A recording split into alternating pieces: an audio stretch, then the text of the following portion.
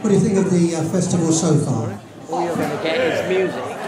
Red hot. Don't worry. Ladies and gentlemen, we have the Wonder Orchestra uh, in front of you. All stars and uh, delectable arrangements, I hope. And uh, we will see you at the end. And uh, we start with a number with the teenage Benny Goodman uh, playing in 1928. Stand up, teenage Goodman. Uh, yes. Watch out. We give you Bashful Baby.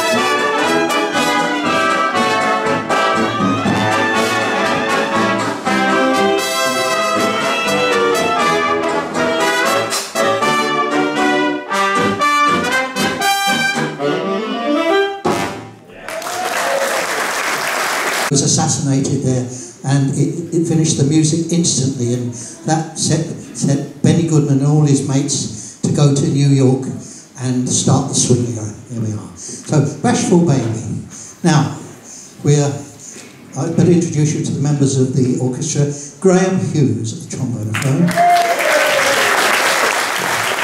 Ceri Williams.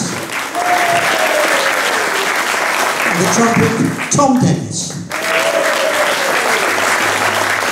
the excellent, the uh, boiled shirts. Even the lady has a boiled shirt, or do you have a boiled shirt? It's uh, Richard Exall,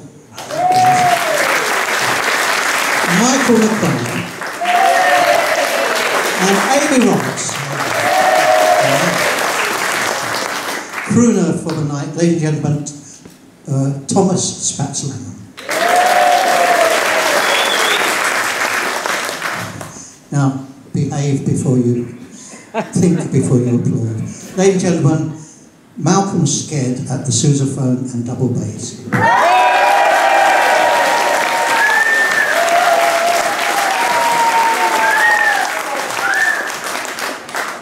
What is wrong with you people? He's, he's, you, you can see he's an absolute charlatan. But he's not a bad tuba bass player. Ladies and gentlemen, the Grand Jazz Percussion Kit, Mr. Nick Ward.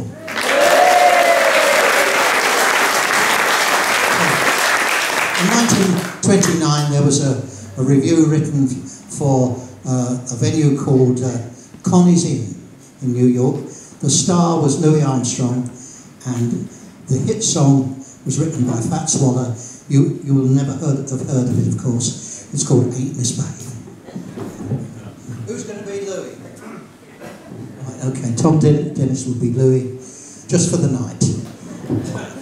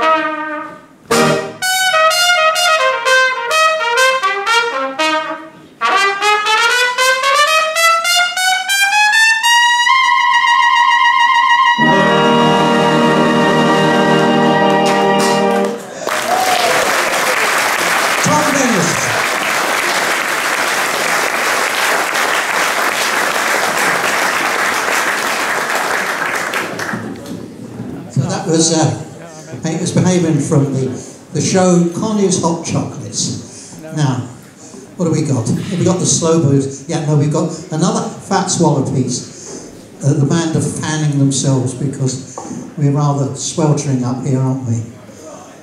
Yeah. Ooh. Yeah. Well, this will only make you worse, this next one. Fletcher Henderson and his orchestra I'm crazy about my baby, and my baby's crazy about me. 1931, August the 2nd, 4 o'clock in the afternoon.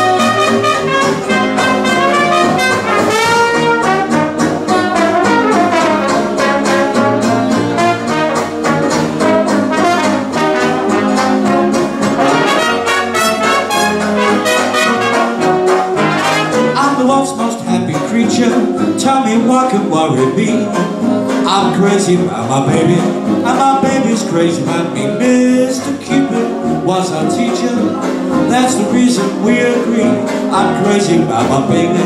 My baby's crazy about me. Now, Pastor, get your book out. Hold it in your hand. Why keep a steady lookout?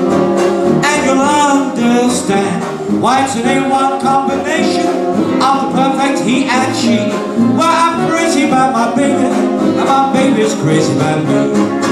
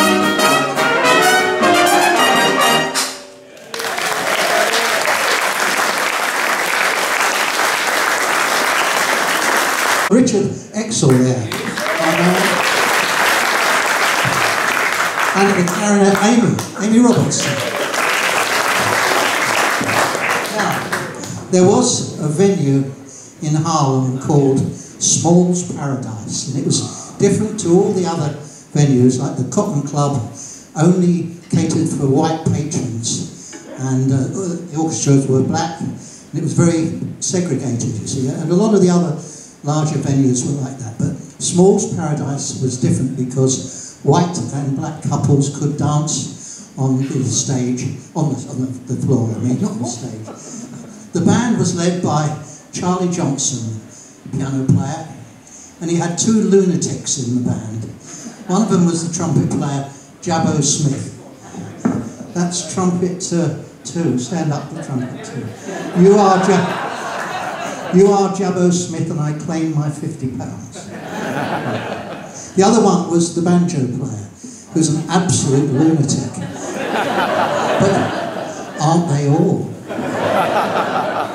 So, later we're going to give you. It's, it sounds like a really fast tune. It's called the Hot Tempered Blues, but it's slow and sensual.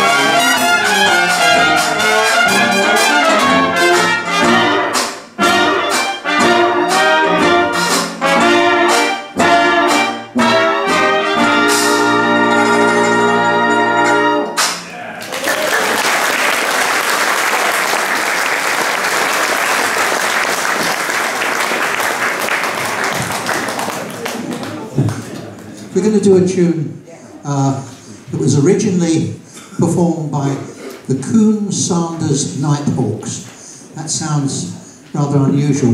Spats, you know all about Coon Sanders' band, don't I do, yeah. Uh, Carleton Coon and Joe Sanders were the band leaders of this wonderful orchestra, and they, they're not really heard of much these days, but they were a very, very big thing in the 1920s. I will tell you this that when they used to go on tour, their holidays at work so they could follow the band around on tour. Now, this is something that happens to us quite a lot. Um, people often, you know, follow us around uh, from gig to gig, you know. There we go, you see. So that's what happened. The other thing was there were radio stars, and people used to uh, send telegrams to the radio station, and they used to play requests. So you know, like the modern day disc jockey, where you go, "Can you play this song for me?" You know, they'll put a record on, well, they, well, they'll press a button now. Well, this was a band that would do that. You would telegram them and say, Could you play Here Comes My Ball and Chain? And they would go, This is for Josie and Mickey from Florida. You know, and they would play it. Such was their popularity, an amazing band. Now, uh, Joe Sanders sang and Carleton Coon sang, but when Joe Sanders sang, he did not need one of these. He didn't need a microphone because he had such a great presence in his voice and power. And the tune we're going to play for you, uh, I actually played this many, many years ago at an open prison in Germany, um, where 500 inmates listened to the Pasadena Roof Orchestra. And we actually played this tune. We played Here Comes My Ball and Chain. Um, but it was all right. We made amends because our final tune was Here's to the Next Time. So, um, anyway, so Coon Sanders, Here Comes My Ball and Chain.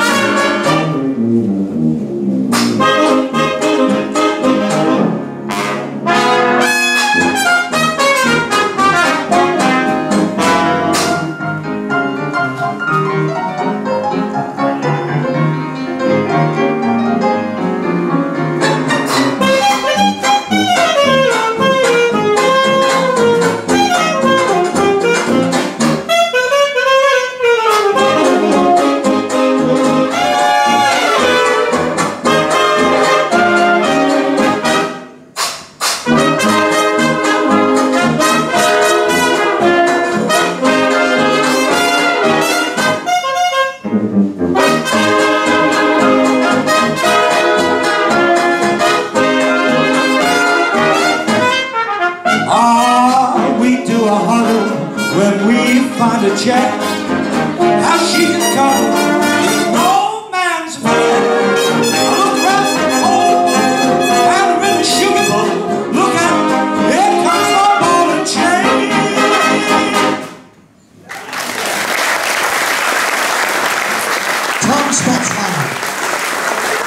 down because of my pacemaker. It's doing a rumba at the moment. God. I'm going to slow and play a piece that was played by Leon Bix, by the way. Who's Bix tonight? Yes, right, there we are. Tom Dennis will be Bix. Can you stand? Lovely, okay. This is I'm Coming Virginia. Very, very sophisticated arrangements for the day. 1927.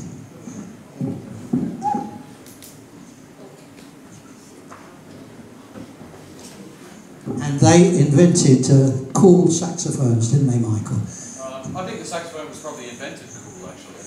Ah, right, okay. They just made it cooler. Right, okay. You're here.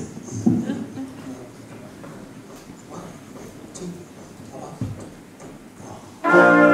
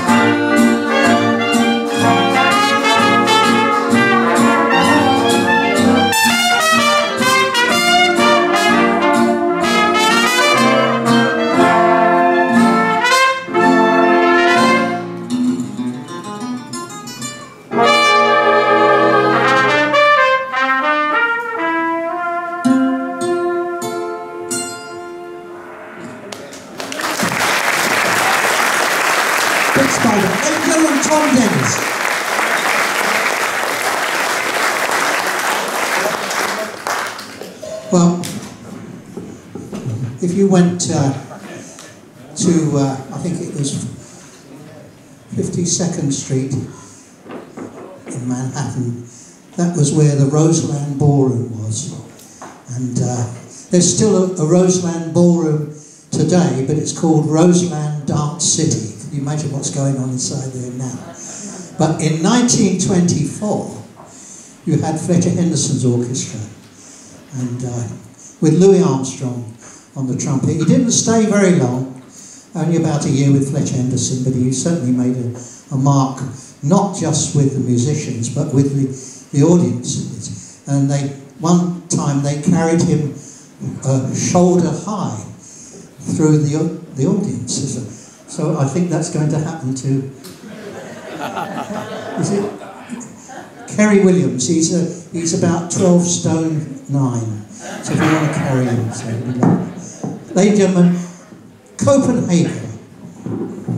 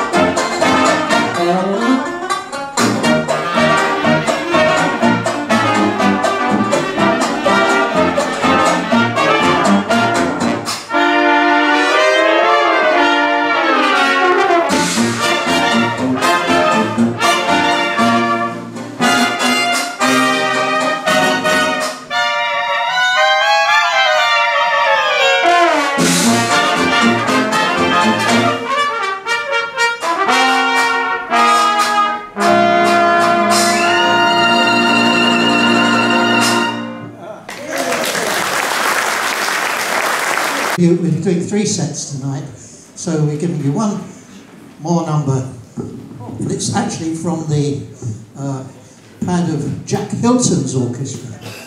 It's his version of the St.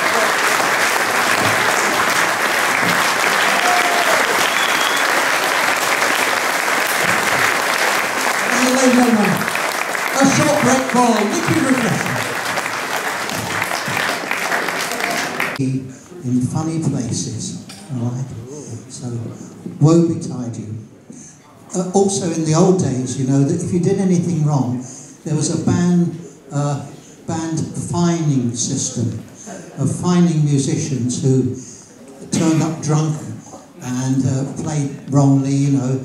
And uh, I'm thinking of imposing that myself. I, I should. I see. You haven't got enough money on you. And gentlemen, marbles.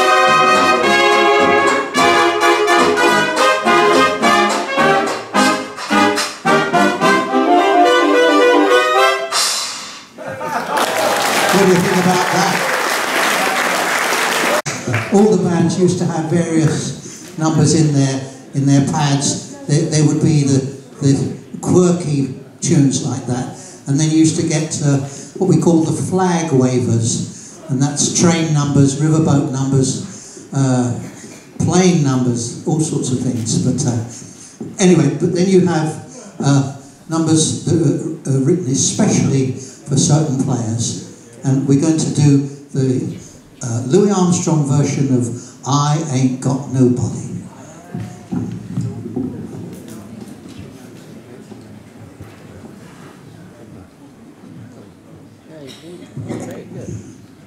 In 1929, uh, Louis fronted the Luis Russell Orchestra, and they were largely of New Orleans musicians. And this is what you got Louis from New Orleans, backed by a New Orleans band.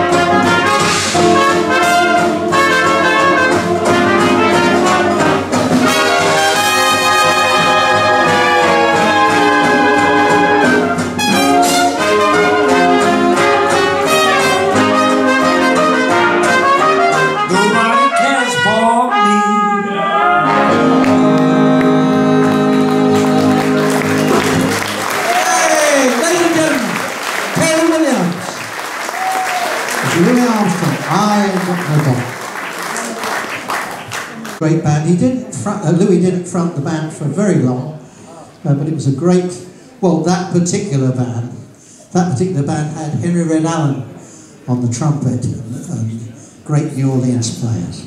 Right now, ah, change the style, change the country. We're going to feature Spats uh, singing the music of Al Bowlly now. Tell us about doing. Okay, yes. Hello and welcome to the Al Bowlly Appreciation Society's annual general meeting. We know that at least two of you out there like. Put your hands up if you've heard of Al Bowlly. Yeah. That's quite a lot of people, isn't it? Yeah. That's good. Well, Al Bowlly was a superstar, and of course, uh, when you become a superstar, you always have to go to America. That's what happens, apparently. Um, I've never been, but there you go. well, not this year, anyway. Uh, anyway, so uh, Al Bowlly went to America. He met Bing Crosby. Bing Crosby apparently said, Hey, that guy doesn't try and sing like me. I like him. Because he didn't sing like Bing Crosby. And we're talking about 1933. Every male singer in popular music in 1933 copied Bing Crosby. He was the voice, as it were. As uh, Frank Sinatra said, you know, Bing Crosby had a voice, you know, a one in a million voice, once in a lifetime voice. Why did it have to be my lifetime that he came along? And uh, this is what happened, you know, Bing was such a strong influence. Al Bowlly went over, made some recordings with a band under the name of Ray Noble, but funny enough, it was orchestrated by a certain young gentleman called Glenn Miller. There you go, the plot thickens.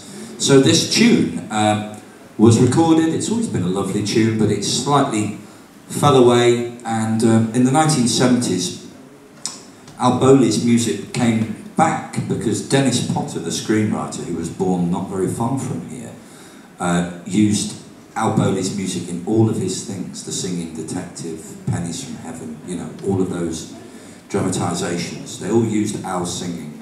But it was the American film The Shining that brought Al back to popularity in the 70s. Right at the end when Jack uh, Nicholson is, is going mad. Is it Nicholson or Nichols? I don't. Nicholson, yeah. One of them's a golfer, one of them's a, one of them's a piano player, I can't remember. Anyway, he's going mad in this haunted hotel. He's having visions and things like that. And all of a sudden, there are um, the ghostly strains of the piano, and Al's voice comes in, and it's very affecting. It's a tune called Midnight with the Stars and You.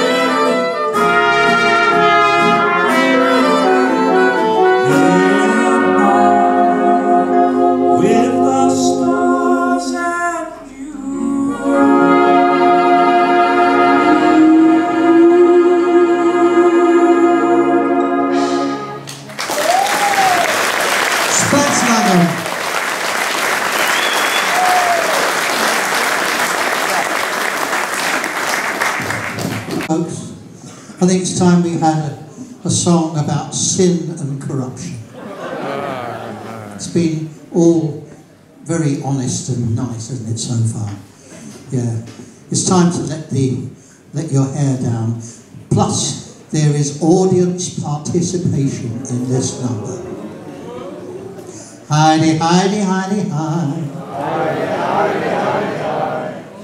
What do you think, Spats? Well, I don't think they're through to next week. Heidi, Heidi, Heidi, Heidi. Holy, holy, holy, holy. Better than the Mormon tabernacle crowd. We give you Minnie the Moocher.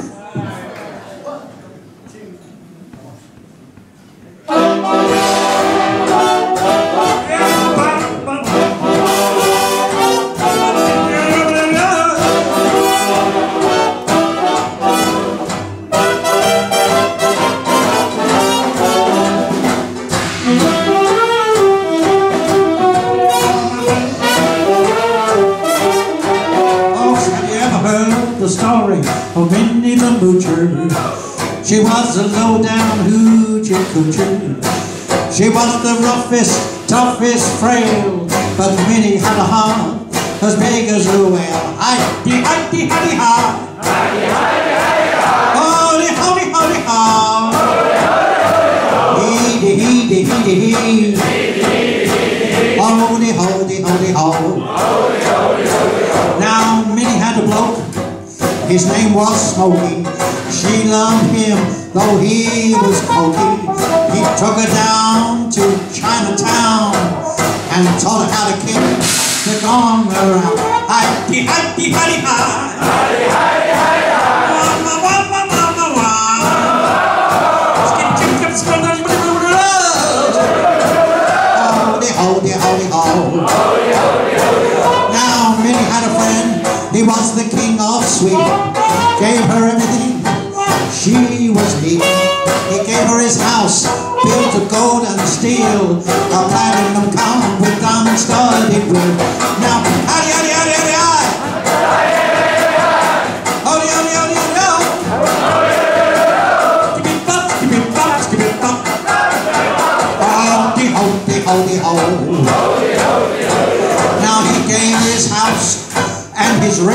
horses. Each he ate was a dozen courses. He gave her a fortune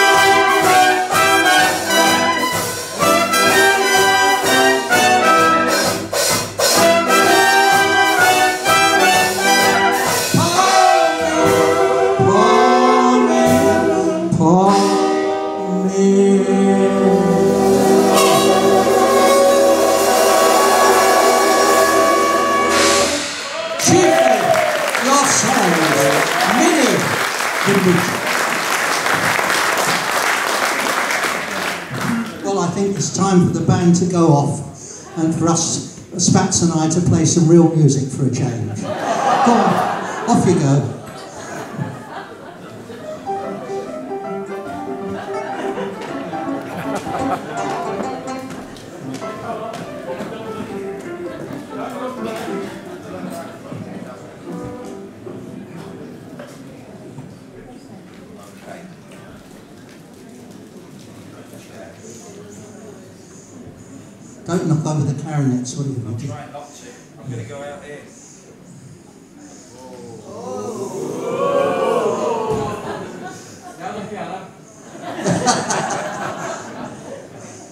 Turn your back on the audience.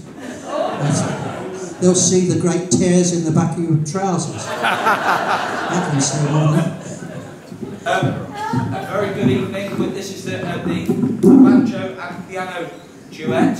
And uh, we're going to play you a piece from Mr. Harry Reser. from the, uh, the year 1929. Yes.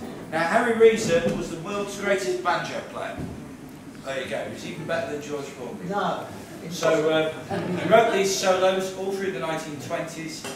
They, uh, they were the most difficult things to play, and uh, banjo players have been trying to play them ever since. Yeah.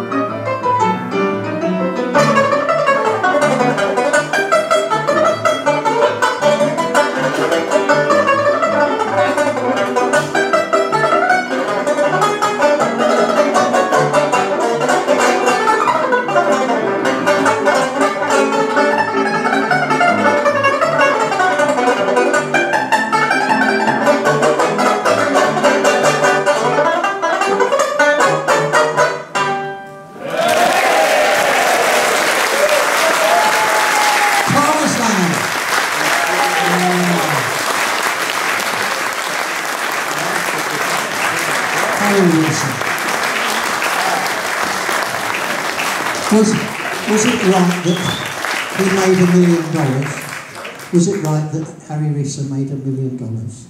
By 1927, Harry Reser, as a banjo player, had made one million dollars. Uh, I'm halfway there. halfway there in Turkish lira. Uh, but uh, yes, uh, he had. He made a million dollars from playing the banjo. Now we're going to do a Duke Ellington arrangement of a tune from Blackbirds of 1928. We played it this afternoon as well, you know. It's called Digga Digga Doo. And, uh, yeah, and uh, the trombone has a very difficult bit at the beginning.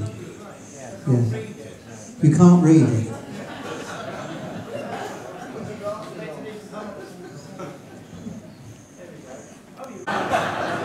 You have my permission to play the whole thing down an octave if you wish. But it'd be nicer to do it, it'd be nicer to do it up there, you know. It's the sharp stick up the thing business, you know. That's it. You know. Right, here we go. Digga digga doo.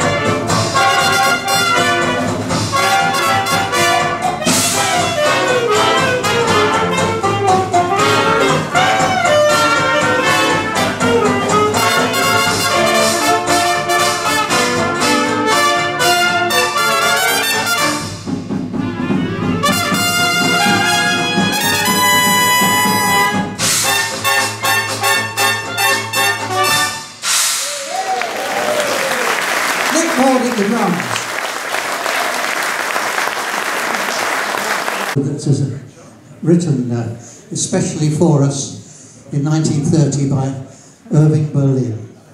It's a piece called Putting on the Ritz, and we do it slower than normal because the clarinet parts are absolute stinkers. If you look at it, you see Putting on the Ritz. So, uh, if anybody would like to dance, uh, there is small dance floor here. And uh, so, go. Vocal will be done by Spats, and uh, it's a little bit different this one.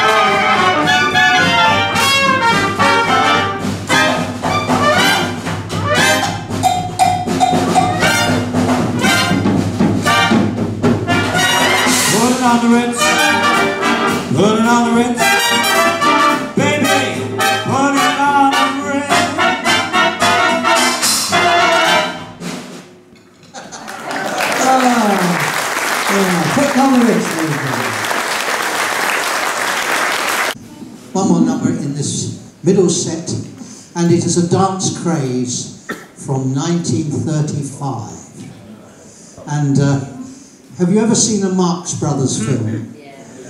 You've seen Groucho Marx. Well, when Groucho Marx dances, he does this dance.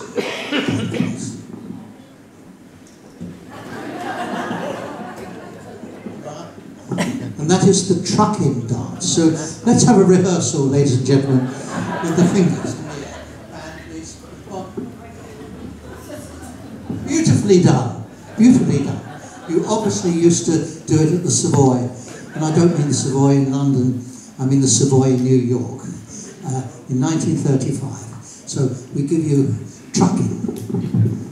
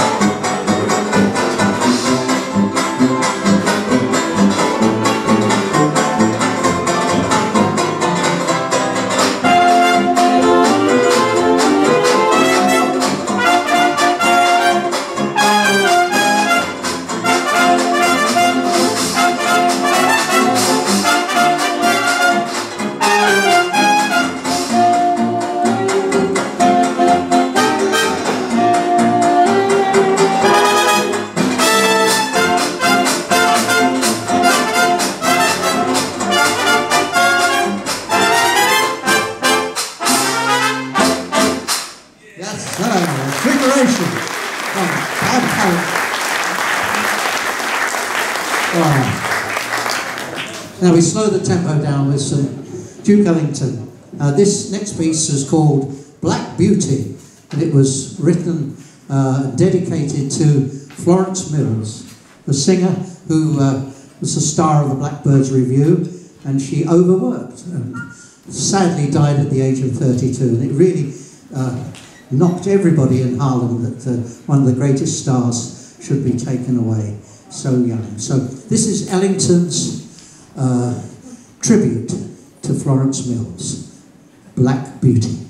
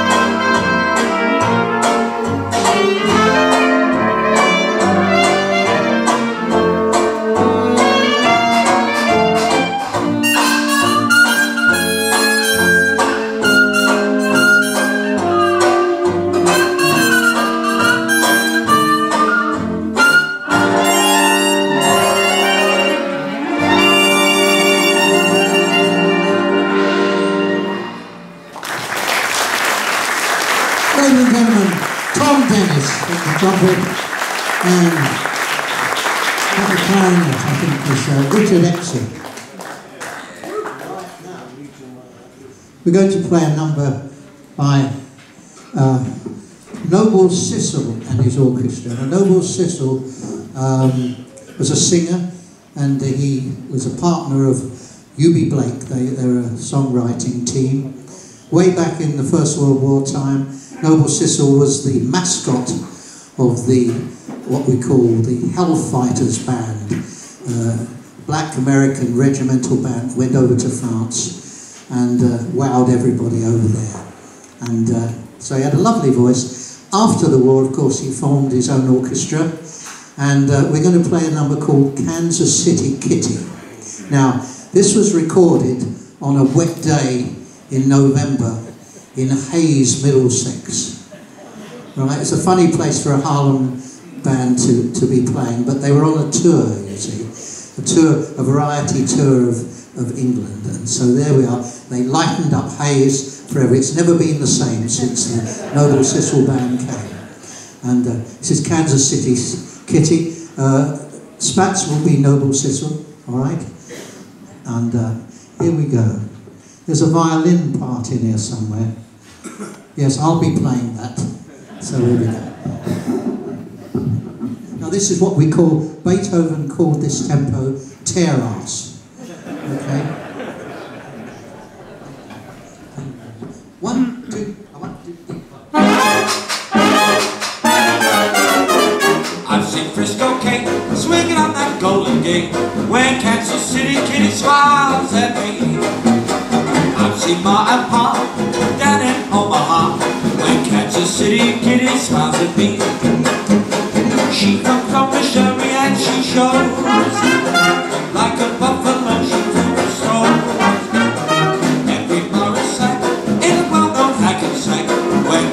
Kansas City Kitty smiles at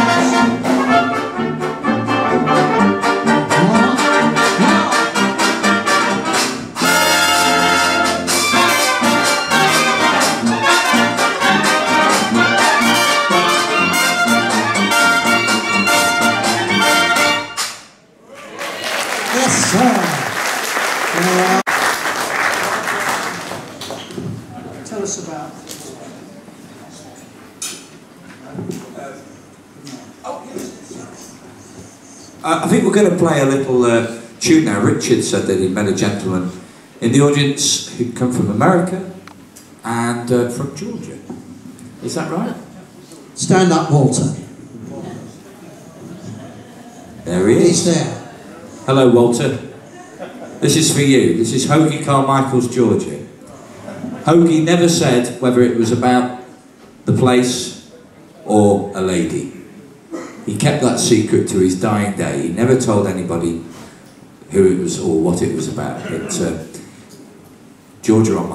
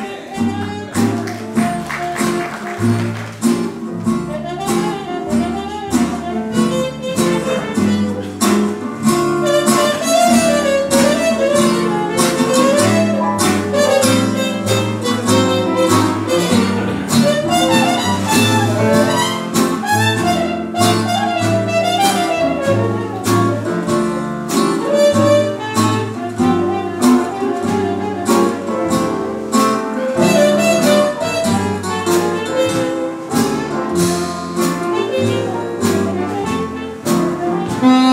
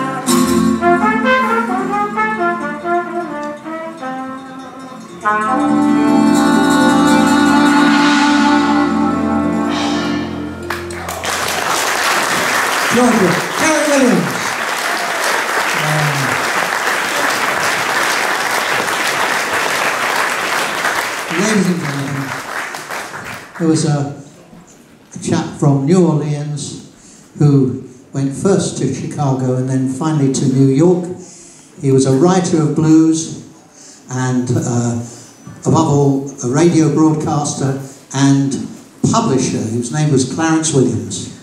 And uh, we're doing uh, a piece that uh, one of his publishing oppos wrote, a man called Jack Laurier.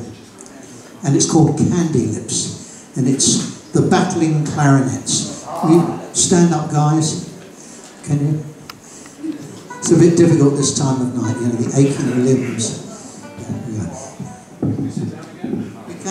Can yes. Now, it's uh, again Tierras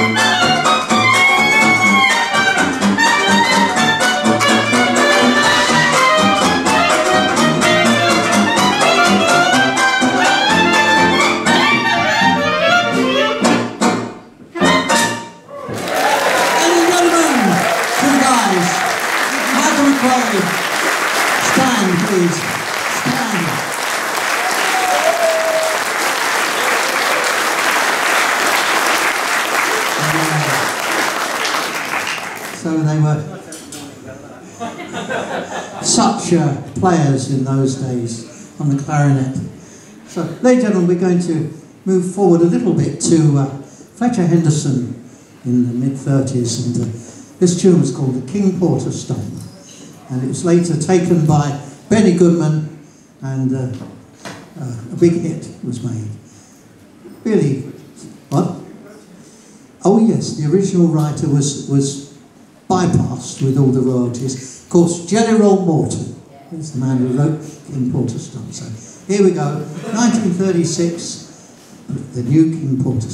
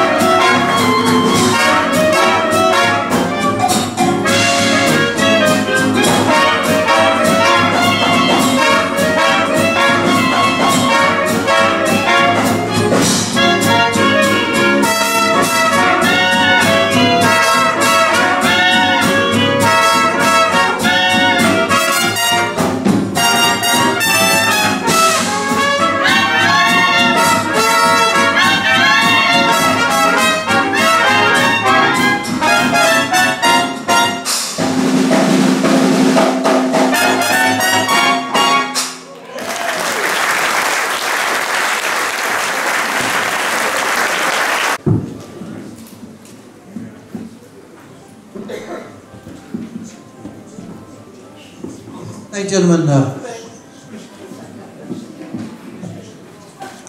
our King Oliver arrangement. When King Oliver had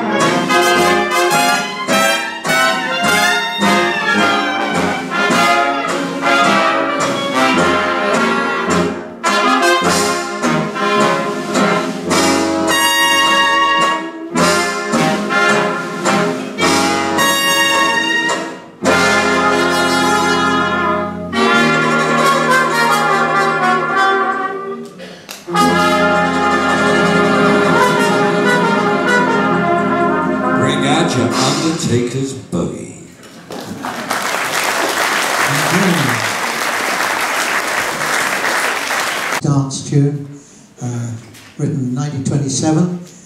It's uh, called Sunday. The band that originally did it was the Jean Goldkette Orchestra, which included Frankie Trumbauer and Bix Beiderbecke. And uh, I'll explain, there's a little bit of uh, arrangement in which we will be playing, and I'll, I'll uh, tell you all about how that happened uh, after we've done it. That's if they can play it correctly. So here we go, Sunday. It's a nice quick step.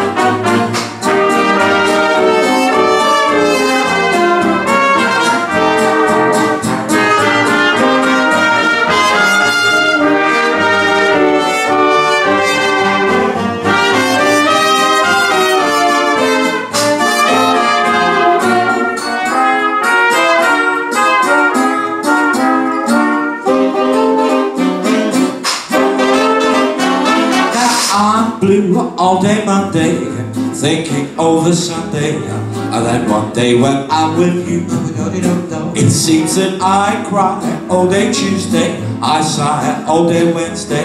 Oh my, how I yearn for you. But then comes Thursday, gee it's long it never goes by. Friday makes me feel like I wanna cry. But after payday, it's my fun day. I smile all day Sunday. And that one day when I'm with you, gonna see Sunday. Uh-huh, uh-huh.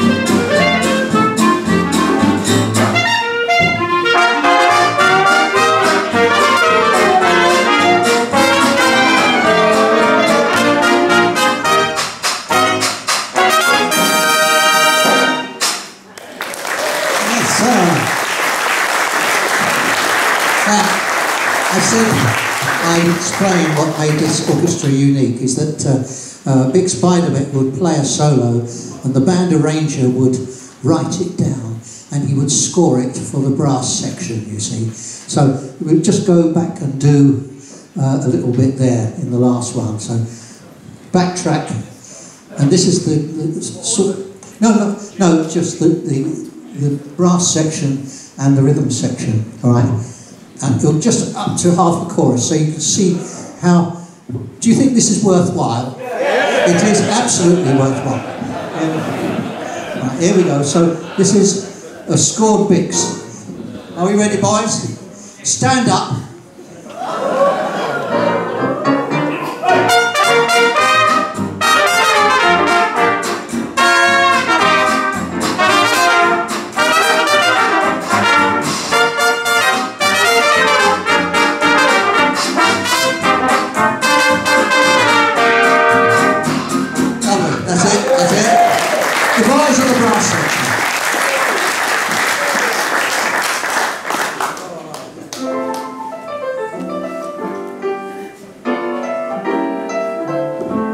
Swallow.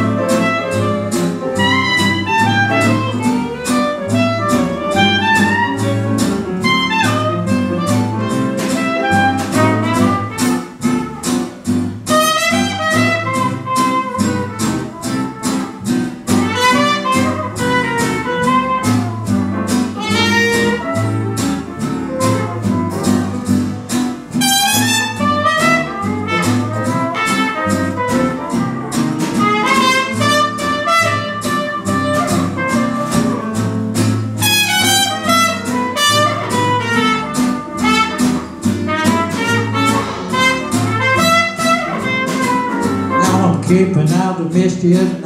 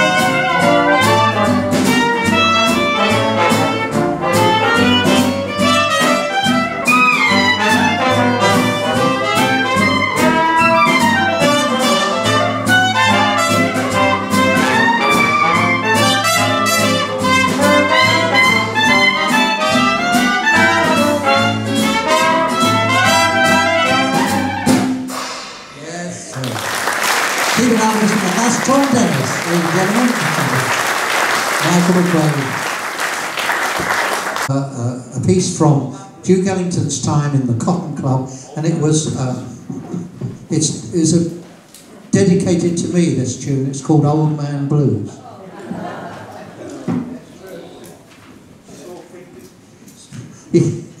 and it says lots of slap bass in it. Yes, it's good. Uh, so, Malcolm, would you demonstrate the age-old New Orleans style of slap bass? Oh, Well, that wasn't very good, was it? five years at the Royal Academy of Music to learn that. That's better. The intonation on that is quite, quite, quite good. Can you double slap? Can you triple slap? You're no bloody use at all, are you? Right, ladies and gentlemen, we're going to give you the Old Man Blues. 1920. Oh, that's good. Just- just-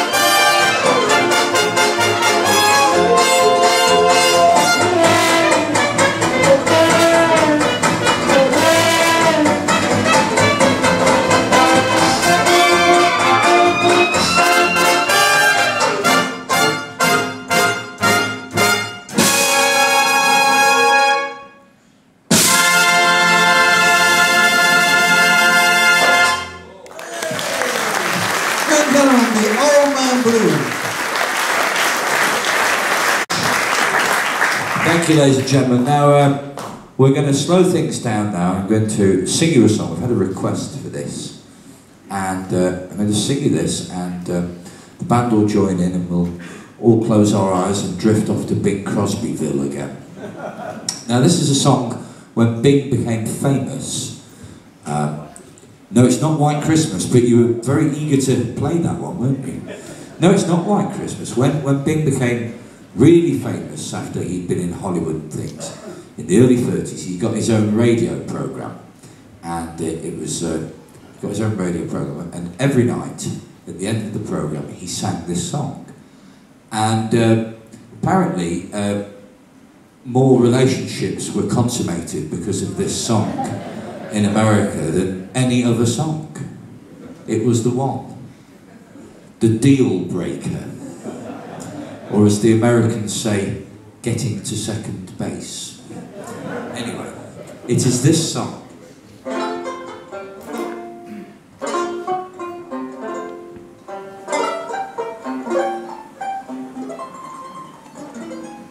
Why must I live in dreams of the days that used to be? Why can't I find true peace of mind and return to what used to be?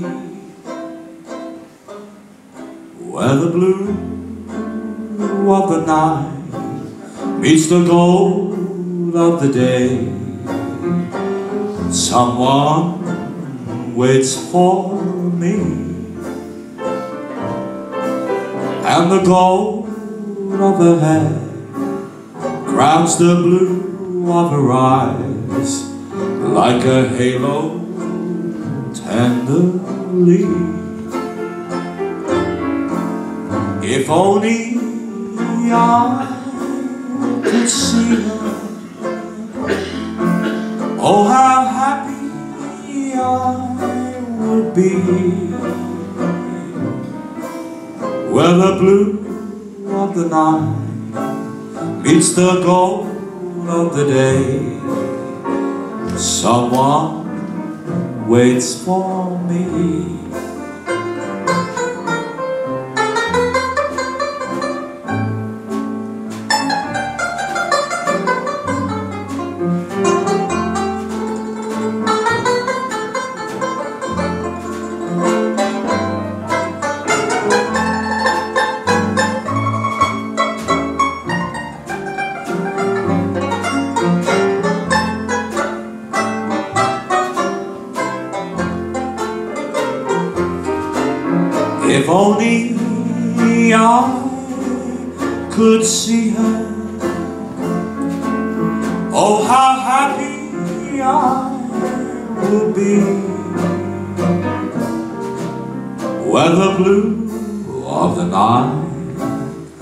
the gold of the day Someone waits for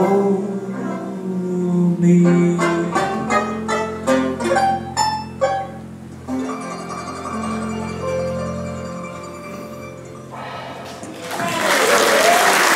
Thomas. Thank you for tuning in.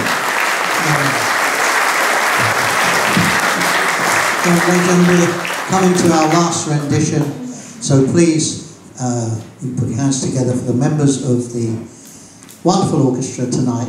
Graham Hughes at the trombone phone. Ceri Williams.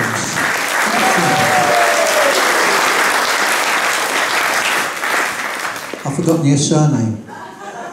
It's Dennis Tom. Dennis Tom Dennis,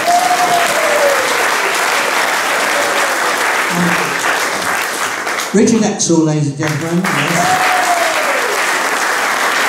Michael McQuaid. Amy Roberts.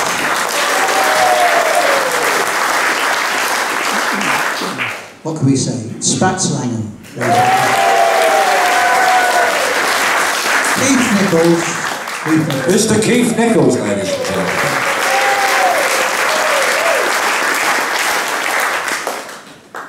lump comes to my throat when I try to. Ladies and gentlemen, Malcolm Sked.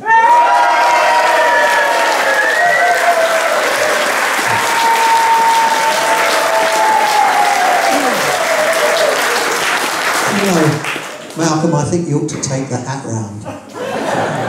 Ladies and gentlemen, at the Grand Jazz Percussion Kit, Mr. Nick Ward.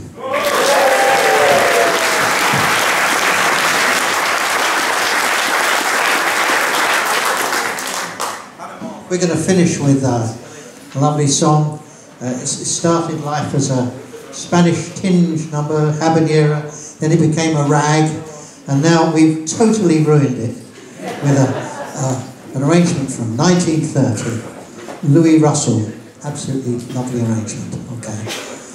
Terras and I think there's another another moment in this where there's a lot of slap bass as well, Keith. there, Isn't there it? might be, yes, and I've written it especially difficult. Yeah, you know. so I think Malcolm's fingers are really ready for another. Right, yeah. Well, it's been specially written, specially. Ladies and gentlemen, Panama.